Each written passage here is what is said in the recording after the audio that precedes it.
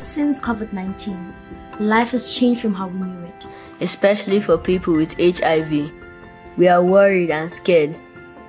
When there are lockdowns, how can we go to get medicine or testing done? Will my baby get HIV if I don't take my drugs? I'm not feeling well. I miss my peers. When will this end? Меня зовут Яна, мне 22 года, я родилась в СВИЧ, я из Украины. Когда начался карантин, если честно, было страшно, никто не понимал, что делать. Я не понимала, как я могу достать свои таблетки от ВИЧ, которые мне необходимы. becomes more important during the COVID-19 pandemic, where we risk to lose more lives if women living with HIV are not started or kept. But there is hope. UNICEF is on the ground in more than 120 countries. Joining hands with our governments, networks, and communities in drawing the blueprint for children, young people, and mothers facing the challenges of COVID 19 while living with HIV. My name is Michael Senyonga, the National Mr. Y Plus Ambassador of Uganda, working with the Ugandan network of young people living with HIV.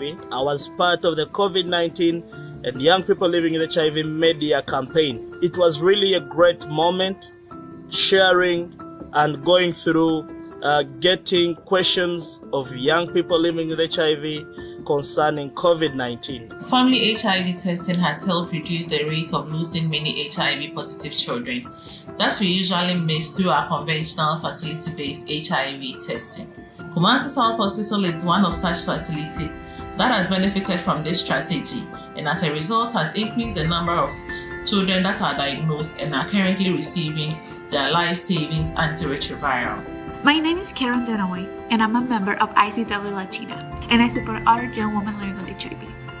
This year, I was able to be part of ICW's Young Woman Media Team, where us put a lot of information on social media about young girls and women living with HIV. Hi, my name is Dilas and I'm a 17-year-old teenager from Kazakhstan, Almaty. I decided to work on a project named Sequence, which is a pill box that helps to remotely monitor the medication treatment of a patient with a chronic disease. Right now, in collaboration with the UNICEF, I'm trying to test it at different hospitals with children and other teenagers with HIV and AIDS to make sure and prove of its clinical effectivity. I met Mothers to Mothers when I was diagnosed with HIV 18 years ago during my second pregnancy. I decided to become a mentor mother using my own journey to give help and inspiration to other women.